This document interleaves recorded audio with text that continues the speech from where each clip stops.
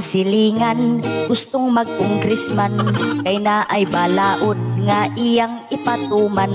Ang mga tabian Iyahang swelduhan Tag 100,000 Ang ilang binuan.